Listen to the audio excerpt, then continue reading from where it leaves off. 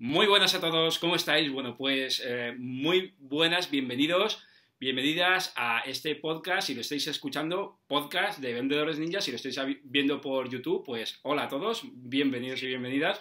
Hoy tengo conmigo pues a, un, a, uno de los gigantes, ¿no? Hace poquito teníamos a Mónica Galán y hoy tenemos a uno de los grandes en lo que es finanzas, eh, también emprendimiento. Está con nosotros Alberto Chan. Muy buenas, Alberto, ¿cómo estás? Muy buenas, ¿qué tal? Pues, muy bien, muy bien. Muchísimas gracias por tu tiempo. Sabemos que eres una persona que, bueno, que va siempre a tope con tus viajes, con tus días, eh, con tus clientes y bueno, eh, pillarte es difícil. Así que muchas gracias por tu tiempo. Nada, venga, a vosotros también por, el tema de hacerla, realizar la entrevista y para mí es un verdadero placer. Muchas gracias, Alberto. Bueno, yo te descubrí eh, hace ya algún tiempo porque eh, te, te, vi en el, programa de la sexta noche. Eh, una persona muy joven, tienes treinta y pocos años, ¿no? Sí, 32 y, y había debutado con 29 la pizarra. cuando la media estaba por 50. en la sexta noche. Cuéntanos, ¿cómo, ¿de dónde vienes, Alberto? ¿Cómo una persona eh, con 29 años se planta en, el sábado por la noche, que es una de las horas que más se ve, la tele, eh, ahí en, una cadena nacional? ¿De dónde vienes, Alberto, y cómo se consigue eso? Bueno, pues yo, yo nací en Ferrol en el año 86 y, y, de alguna manera, pues bueno, la adolescencia más o menos como cualquier chico normal. Y el, cuando empecé la carrera empecé a estudiar dirección de empresas. Me gusta, todo lo que había estudiado hasta aquel momento no me gustó pues nada, de alguna manera. Es decir, en principio quería estudiar una ingeniería, me metí en bachillerato tecnológico, pero pues no me, no me llamaba la, la la atención. Es decir, vas, ibas aprobando, pero sabías que decías, bueno, estudiar por estudiar tampoco era algo que me apasionaba. Y lo único que no había estudiado hasta ese momento era economía, no tenía absolutamente ni idea. Y digo, pues bueno, voy a mirar un poquito. Indagué lo típico, el mes el verano antes de entrar a la universidad, estás un poco diciendo, bueno, no sé qué voy a estudiar, me llamó la atención, eso sí, el tema de bolsa, el tema, y le pregunté un poco a mi padre de, oye, ¿qué es esto de los números que se mueven y tal? Y bueno, lo típico de padre familia que tiene unas acciones y te pregunta y te comenta, bueno, pues oye, comprando a ese precio y vendiendo a 10, comprando a 10, vendiendo a 10.50, ganas dinero. Y me quedé en plan, eh, esa frase me quedó de, ¿cómo que ganas dinero? Dijiste, qué fácil, ¿no? Esto es facilísimo. Eh, claro, dije, pero ¿cómo, ¿cómo se va a ganar dinero comprende unos números? Y eh, porque no entendía ni el concepto. Entonces me empecé a investigar lo que era eso y me llamó la atención y dije, bueno, vale, pues eh, esto me llama la atención, algo que me apasiona y digo, joder, si puedo ganar dinero con el tema de la inteligencia y por el tema de, la intelectualidad, digo, tengo que aprenderlo. Entonces opté, como me gustaba el tema del marketing o eso sí, de las ventas y tal, opté por estudiar dirección de empresas, que combina un poquito, pues marketing en empresas y por otro lado economía. Mm, bueno, la carrera no, no es que aprendiera mucho, pero paralelamente siempre dije, hice dos carreras a la vez. Una, la autodidacta en bolsa, leía más libros de bolsa que de mi carrera, tal cual, durante seis años, así, seis y pico que, hice la carrera, estuve paralelamente estudiando bolsa. Sabía que lo de la carrera iba a terminar, pero me iba a dedicar sí o sí a la bolsa. Y bueno, cuando terminé ya invertí todo esto y cada vez más potente. Lo que, como lo que comentábamos antes, eh, cuatro años me llevó desarrollar un método de trading para y eh, seis años, de alguna manera, fue cuando ya profesionalmente eh, opté ya por, cuando, fue, cuando renuncié a un trabajo eh, en, uno de los principales bancos de este país, de banca privada, porque directamente ganaba más en dos horas de inversión que en ocho en una oficina. Y ahí tenía 24 años, ya seis, llevaba seis, como quien dice, desde que había empezado en los 18 operando, y opté por dar el salto. Es decir, bueno, si vas a renunciar a esto, Mm, que sea para bien, ya directamente al máximo.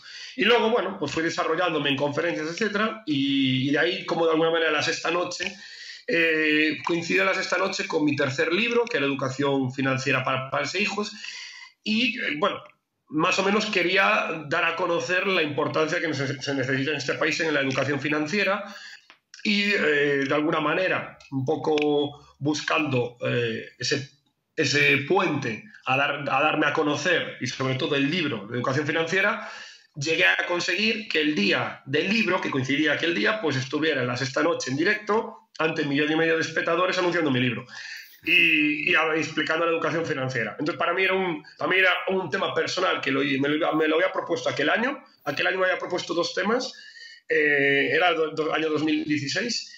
Y en el tema de, de, focalizar y comentar un objetivo por la ley de la atracción, dos meses antes, en febrero, estaba en, en mi antigua facultad de Economía de Coruña dando una, una conferencia y, y les había dicho públicamente lo que iba a hacer ese año un poco para, yo visualizo y atentos a ello. Les había dicho, bueno, mi objetivo es ir a la sexta noche y debutar como el ponente más joven de España y le dije, acordaros de este momento cuando me veáis. Y dos meses después, en aquel momento, no tenía ni teléfono, no sabía ni, cómo contactar, mm, pero era un objetivo que iba a estar allí.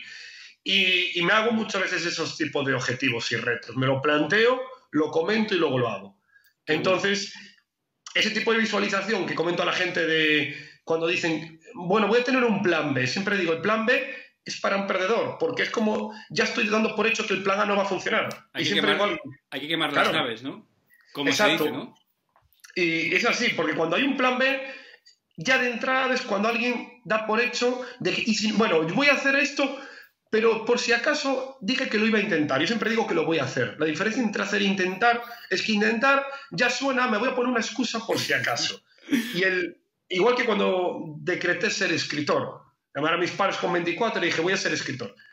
Y, siempre lo comento en las conferencias, decir, dije que iba a ser escritor, no que iba a intentar escribir un libro. Y fue el primer libro que fue bestseller. Es decir, no he escrito un libro en mi vida. Pero es un tema de visualizarte que lo vas a hacer, que eres ya una persona así.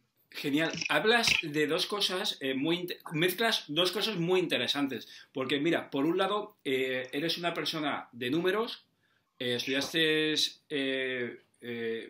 administración de empresas. Es decir, yo también fui. Yo estudié económicas y siempre he sido muy de estrategia, muy de números, las cosas son como son, pero luego hablas también, has metido aquí en, esta, en tu respuesta algo muy interesante y, la gente lo ve como humo. Ah, eso es humo. has hablado de visualización, has hablado de declaraciones. Cuando tú le hablas a, a muchas personas de este tipo, la gente te dice, ah, este te quiere vender humo, pero cuando pasa el tiempo te das cuenta de que es tan importante como la estrategia, como el tener un plan, como el tener un objetivo, tener una visualización, ver, eh, decretar día a día que voy a hacer esto, que voy a hacer esto. Es así, ¿verdad, Alberto? Sí, sí, es que es así, tal cual, José. Es decir, lo del tema, del tema de la psicología, el tema de la mente, es lo más importante, siempre digo. Es decir, cuando en una carrera universitaria hay 400 alumnos y todos saben la teoría igual, de números, pero hay uno que destaca o dos que destacan sobre el resto de forma espectacular, no es el conocimiento que tengan, es su parte, su actitud, y al final la actitud viene de, la mente. Y el hecho cuando, siempre digo a alguien, cuando alguien te está dando algún consejo y tal, eh, algunos dicen, bueno, puedo creer o no, y siempre digo, mira cómo le va la vida a esa persona. ¿Le va bien a esa persona en su forma de ser, su forma de hablar, su actitud? Sí, vale, pues hazle caso, porque está demostrando con hechos algo. Yo por eso siempre decía, yo no podía hacer caso a un profesor de universidad que me hablara de inversiones cuando él vivía de que le pagara el Estado.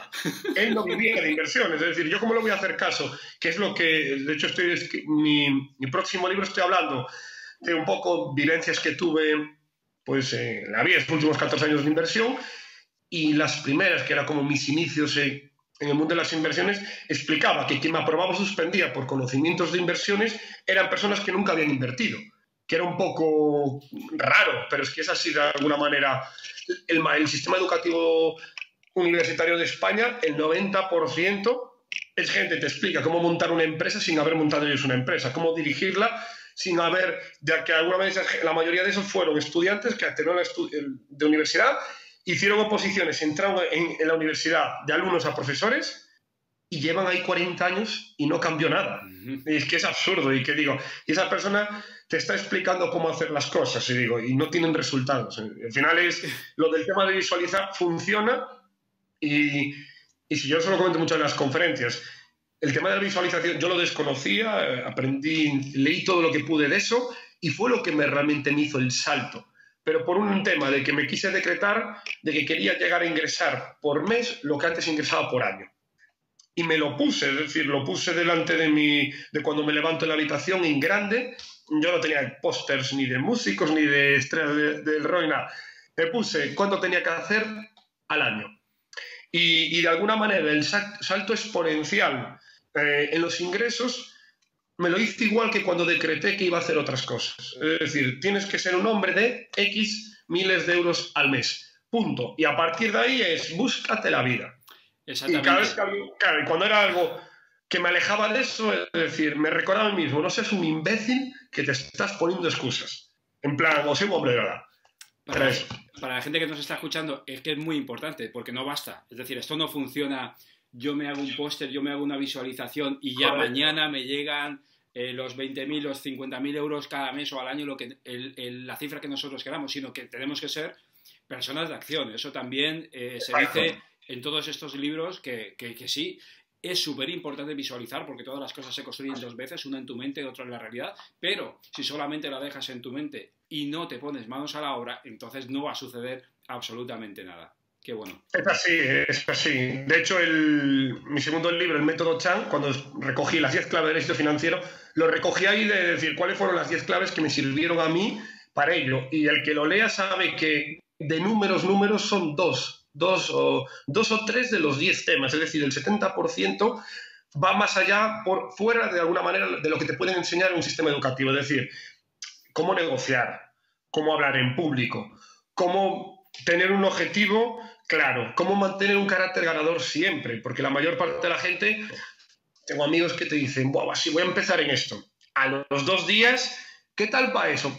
es que luego lo he dejado, me he desanimado, tengo cosas que hacer. Es decir, excusas, siempre hay dos personas. Las triunfadoras, las que tienen la coletilla, es que. El que te dice es que no tengo tiempo, es que tengo que ir al otro, es que hace frío y no voy al gimnasio. Esas son personas que no consiguen las cosas. Y luego hay el otro que, a pesar de, lo hago. El que dice, mira, a pesar de tener frío, voy ahí, a pesar de, de tener lluvia, a pesar de, tener, de no tener tiempo, lo saco. Esos son triunfadores. Totalmente. Y al final es actitud. Totalmente. Eh, muchas de las personas que, escuchan este podcast y que ven este canal de YouTube son emprendedores. Y aquí, aquí tengo tu libro, Emprender, Emprender con éxito, de, Alberto Chan, para todos los que nos están viendo. Y, hablas también eh, de actitud y hablas de eh, mentalidad de emprendedor. ¿Cuáles dirías eh, que son las tres, los tres, cuatro puntos clave que, un emprendedor tiene que tener mm, bien fijados en su mente? Es decir, ¿cuál es, cuál es esa actitud, cuáles son los puntos claves de la mentalidad del emprendedor de éxito? Sí, yo creo que la mentalidad del emprendedor, y mucha gente creo que fracasa, eh, porque al final fracasar es parar, no es fallar. El que, el que para, fracasa. Por eso cuando me dicen, ¿en qué has fracasado? En nada. Porque cuando quiero algo, hasta lo que no lo consiga, no paro. O sea que en eso soy un testarudo. Entonces, el mentalidad emprendedor creo que la primera es la ambición. Es decir, se caracteriza un emprendedor porque es muy ambicioso. La mayoría de la gente dice, no, me conformo. El conformarse es como una planta que se muere. Me conformo con lo mínimo. Entonces, la ambición en, todo. Luego, lo segundo, una vez que, eh, que tienen una ambición, otra característica de un emprendedor es que tiene claro que no necesita el tema de ingreso fijo y un día determinado. Es decir, que el emprendedor sabe que no va a tener ingresos fijos. De hecho, afortunadamente, eso es lo que le llama la ambición. Es decir, como no voy a tener ingresos fijos, vamos a pensar en grande. Vamos a pensar en, bueno, voy a intentar sacar un tres veces más que el mes anterior. ¿Cómo? Pues ya buscaremos la forma. Eh, falsa seguridad de tengo que tenerlo o pensar como si fuera un salario. Que ese es un poco el, problema que nos viene de si pienso como un salario, sé que voy a tener tanto fijo y tan fecha. Y como no lo tenga, me desanimo. Esa es otra parte. Y luego otra parte importante es llegar a, decir que tu modelo de negocio, pensar, ¿por qué no me voy a convertir el referente del país en esto? Es decir, que ese tiene que ser el objetivo. Bueno, la mayoría empieza con un objetivo muy bajo, de, bueno, voy a crearlo para sacarme un salario. Como digo yo en el trading, yo no me dedico a la bolsa para sacarme un salario, que se habla muchas veces, eh, dedícate a la bolsa para ganar un salario. Y me dije, pero qué tontería es esto. Es como, dedícate a ser un jugador de primera división para cobrar mil euros. Eso sería la mayor estupidez. Decir, un tío que llega a primera división llega porque ha hecho un esfuerzo tan potente que, que como el objetivo sea mil euros, nadie lo hace. El objetivo es, primero, para ser el mejor en tu profesión y luego ya te llegará económicamente la recompensa que va a ser muy potente. pero la idea de objetivos bajos no va para un empresario. La idea de poca ambición no va para un empresario y la idea de seguridad y día fijo, pago de nóminas, pensar de esa manera, eso más para empleado, no va para un empresario. Totalmente. Eh, yo recuerdo, vi esa intervención tuya en, la sexta noche y, tú hablabas ahí de, que hoy en día un emprendedor tiene miles de posibilidades. Y un poco como que la gente decía, pero pero Alberto, tú estás loco, ¿no? Te decían los de una parte, oye, pero eso, ¿quién, piensa en eso, no? Y, sin embargo, hoy en día eh, realmente es así. Es decir, una persona, nunca lo hemos tenido tan fácil y, incluso como que se está igualando. Antes tú podías acceder a una gran empresa si eras una gran empresa, pero es que ahora las redes sociales, eh, la capacidad que tenemos para comunicarnos, estar hablando de tú y yo aquí ahora, que hace 15, 20 años eh, sería impensable.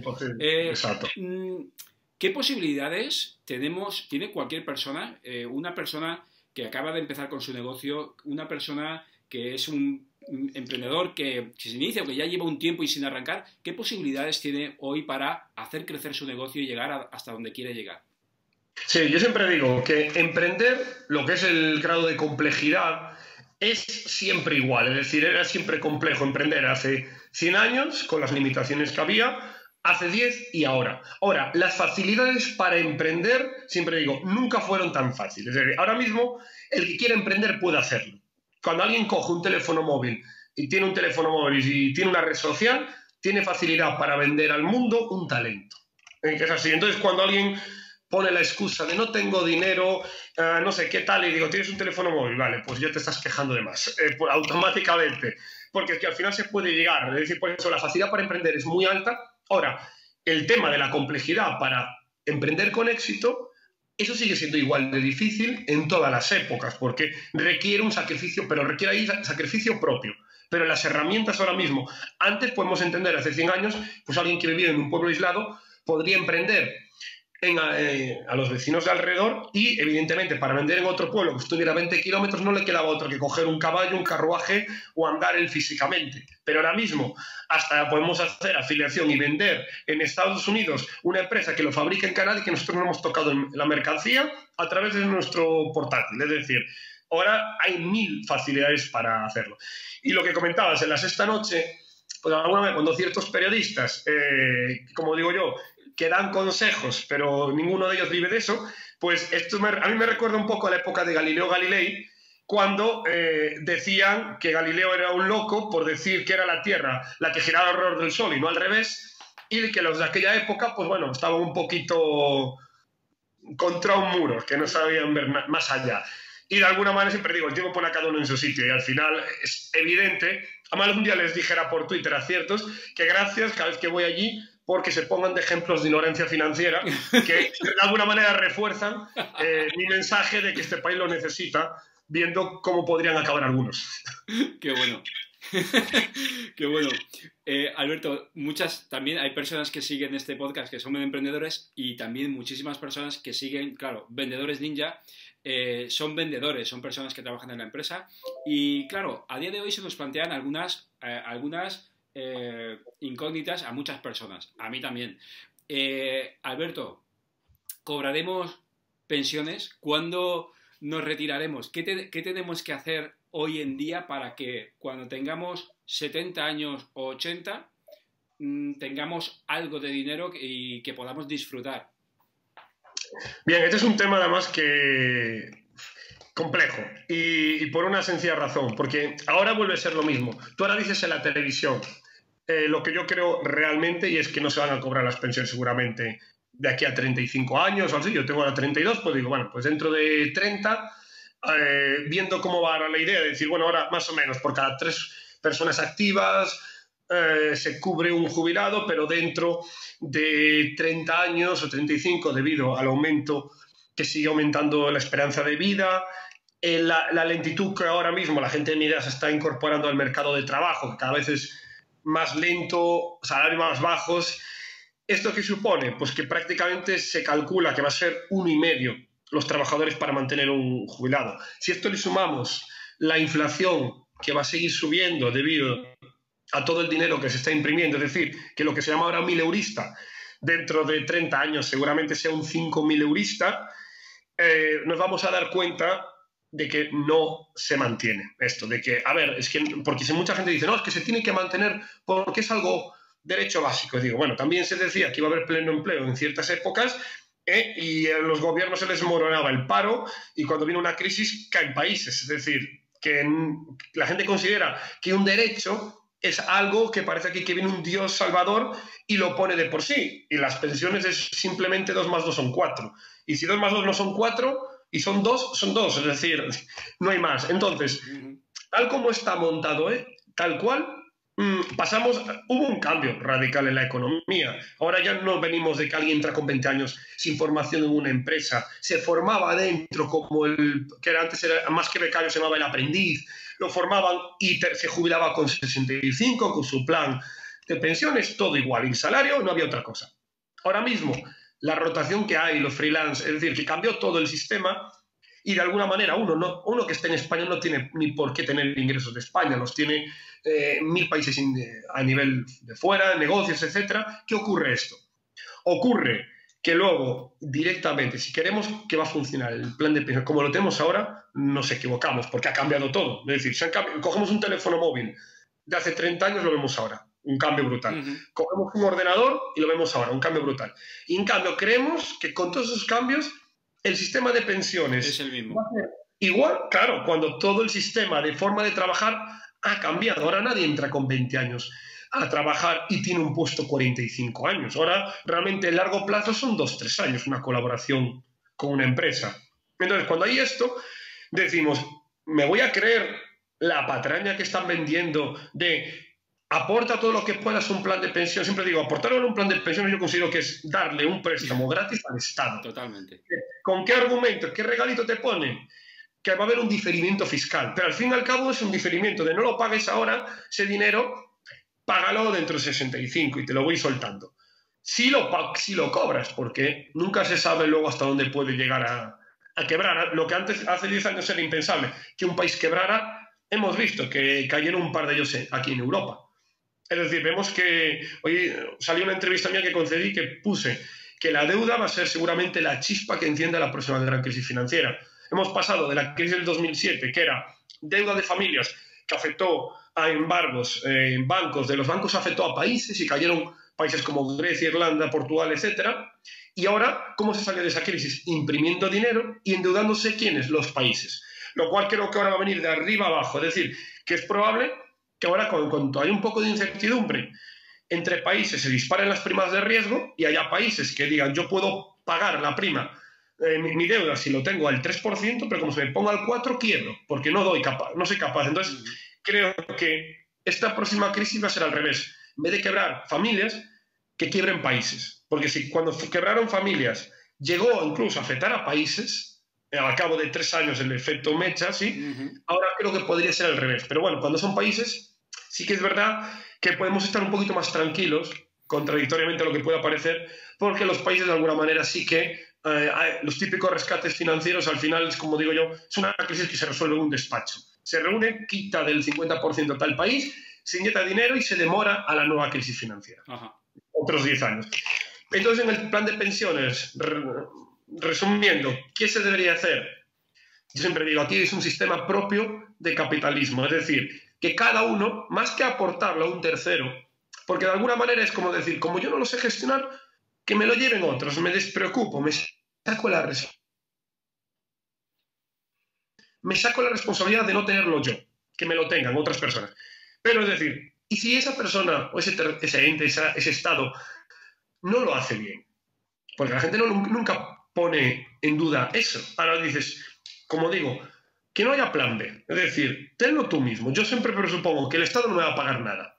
A partir de ahí, digo, Oye, ten tu cartera de acciones, tus cuentas, tus activos, todo lo que te permita a ti, independientemente de un Estado, independientemente de nadie, tener tus ingresos. Ahora, que me jubilo y el Estado me paga algo, oye, fenomenal, pero ya doy por hecho que no me va a pagar nada. Entonces, a partir de ahí, siempre digo, ¿quién es el loco? El que cree que no le va a pagar el Estado y ya lo tiene montado y digo, oye, que me viene un ingreso extra, ¿esto qué es? Ah, bueno, fenomenal.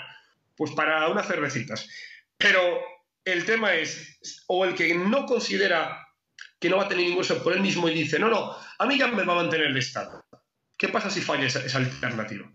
¿Es mala suerte o falta de planificación a 40 años? Totalmente.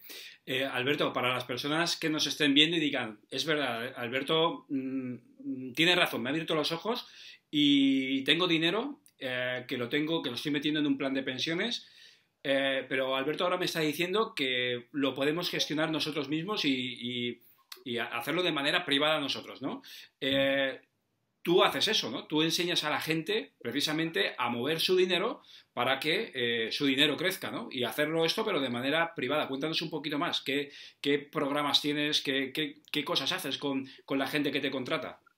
Sí, la formación potente que tengo es la formación del Trading VIP One to One y es una formación que imparto de tres días en la ciudad eh, propia del, del alumno. Me desplazo, estamos tres días formando, comiendo, le pregunto, pues eso, primero la situación que tiene, cuál es el objetivo que quiere llegar, mm, todo, al, fin y al cabo, porque una planificación de esa involucra mucho más que el dinero, es decir, si tiene un negocio, si está trabajando para alguien, mucha gente me dice que, que está trabajando y lo que quiere es, quiero ganar de alguna manera lo mismo que gano en el trabajo, pero si pudiera ganarlo libremente tendría tiempo de vida.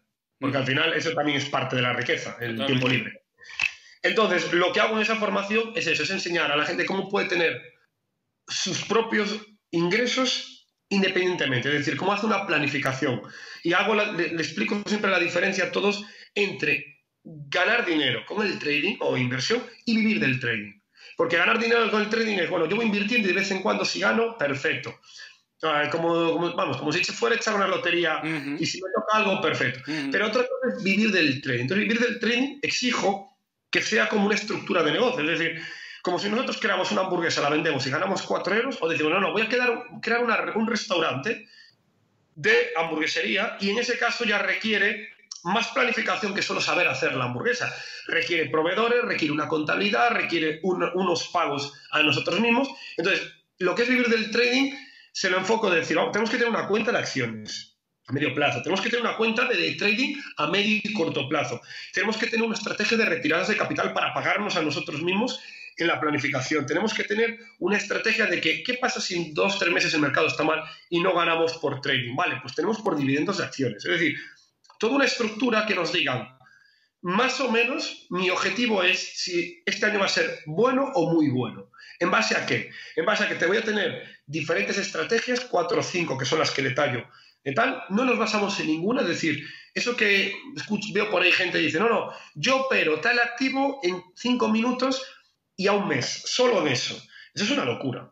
Eso es una locura porque es como decir, poner todos los huevos en la misma cesta. ¿Y qué pasa si ese mes se activo mal y tal? ¿Quién se va a meter el estrés de estar todos los meses que tengo que ganar? Y si no gano a día 25, tengo que meterme un estrés psicológico, porque si no gano, no puedo pagar la hipoteca. Eso es absurdo. Es decir, yo mi estrategia es un año.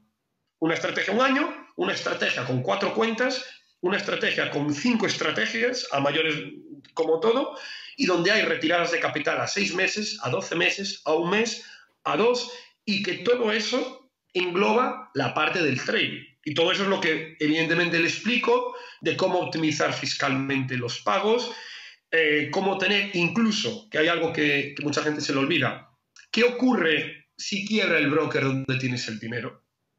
Entonces, por eso tenemos diversificación de cuentas para ir metiendo el dinero donde el depósito esté garantizado. De esa manera tenemos una diversificación no solo de nuestro dinero, sino también en el riesgo, es decir, está todo, es un método, como digo yo, completo. Siempre explico que es como entender una sinfonía. En una sinfonía hay que entender cómo suena el violín, cómo suena el clarinete, cómo suena el contrabajo, y cuando se entiende todo individualmente, se entiende la orquesta sinfónica. Entonces, de alguna manera, con ese ejemplo, ese símil, sería el tren. Y muchas veces lo que veo que se vende por ahí es un poquito, el, como digo yo, la rapidez, el, que no ha trabajado acciones en su vida y se pone a operar porque está de moda operar en un minuto el eurodólar. Y eso, o mercado forex, porque es un poco el marketing que se vende. Pero eso sería de alguna manera el, el que quiera aprender a tocar la guitarra eléctrica por eh, rapidez de ya, y te lo comento porque como decir, como tú y yo somos unos grandes aficionados a la música, es decir, y alguien te dice, no, no, tienes que aprender la música en general, tienes que aprender un pentagrama. Y dice uno, no, no, yo a mí se me rock rápido y olvídate de que no quiero aprender nada. Dime dónde poner un dedo. Digo, no, es un complejo. Hay que entender todo tipo la música, hay que entender diferentes eh, típico, cómo es un blues, cómo es un rock, cómo es música clásica, para que uno diga, vale, voy a entender un conjunto y ahora yo voy a ser bueno en, en esa actividad. Y en el trading, de alguna manera, lo que quiero es, en esa formación de trading enseñarle todo para que alguien diga, como digo yo, que es un trader 4x4, que diga, mira, yo si tengo un problema ahora, tengo forma de dominarlo. Por decirle, no vas a tener todos los meses buenos, pero vas a ser un gran marinero. Marinero, como digo yo, no un marinero de río, marinero de mar, y te voy a enseñar, como diciendo, a llevar un barco cuando haya tormenta, cuando haya tempestad, porque si lo sabes llevar ahí, cuando esté en calma, vas a ser un crack, literalmente. Entonces, de esa manera, quiero, yo en ese tipo de formación soy duro a nivel de enseñar todo, para que alguien diga, vale, soy robusto. Y cuando venga esto, no voy a depender ni de un sistema y voy a depender de muchos a la vez. Totalmente, qué bueno. Genial, Alberto. Para la gente que nos está escuchando, ¿dónde, dónde te pueden encontrar? Bueno, pueden, para solicitar información y reservas del Trading VIP, lo tienen en mi correo ganidineroenbolsa.com y si no en mi Twitter, eh, la mano lo tengo en tweet fijado, en arroba aneroschan. Allí, desde ahí, pueden tener toda la información y, contacto para, para solicitar la información. Genial, pues muchísimas gracias Alberto por tu tiempo, gracias por estar aquí con nosotros y compartirnos tantas píldoras de, eh, tan sabias y de conocimiento y realmente eh, útiles, pero al mil por cien. Todas las personas que están viendo eh, en YouTube este, este vídeo, pues bueno, Emprender con éxito, uno de los últimos libros de, Alberto Chan, disponible también junto con todos los demás, el método Chan, todos los libros que tiene Alberto en Amazon, también en tu página web, Alberto.